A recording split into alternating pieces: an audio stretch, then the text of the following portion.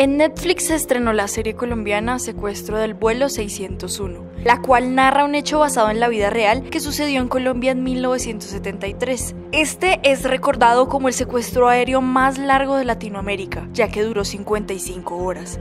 La verdadera historia detrás de la serie de Netflix, el 30 de mayo de 1973, cuando el vuelo HK-1274 se dirigía de Bogotá hacia Cali y Pereira, fue secuestrado por dos hombres encapuchados y armados que se hicieron pasar por miembros del ELN.